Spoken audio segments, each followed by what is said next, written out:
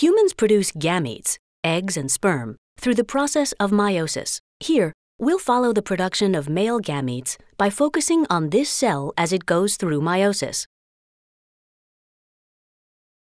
Let's begin in the nucleus, where genetic information is stored in chromosomes. Most of a person's cells are diploid, with two sets of chromosomes.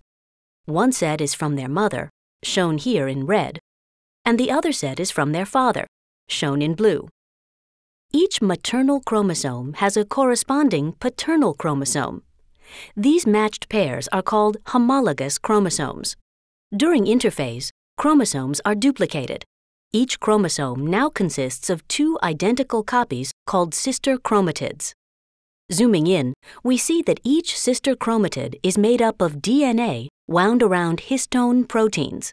Each strand coils up into a tight helical fiber. As meiosis begins, a spindle forms and duplicated centrosomes start to migrate toward opposite poles of the cell. Back in the nucleus, the chromosomes are condensing. In meiosis, homologous chromosomes stick together in pairs. The close association of homologous chromosomes allows segments of non-sister chromatids to trade places.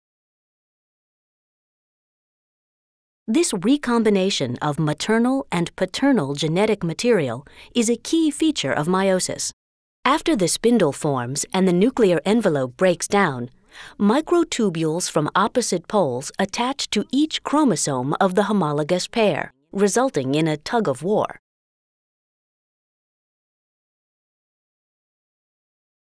At metaphase 1, the chromosome pairs are positioned in the middle of the cell.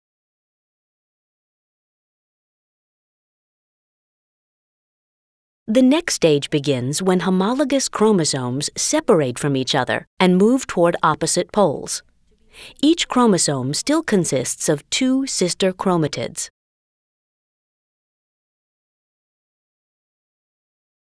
This cell began meiosis with 46 chromosomes, but each daughter cell now has only 23 chromosomes.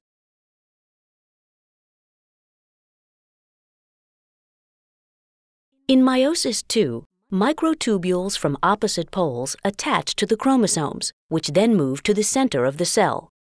Next, the sister chromatids separate, becoming full-fledged chromosomes that move to opposite poles. Nuclear envelopes reform, and each daughter cell divides into two cells. We started with a single diploid cell, and now that meiosis is complete, we have four haploid cells cells with a single set of chromosomes. These haploid cells mature into gametes that can contribute to the next generation.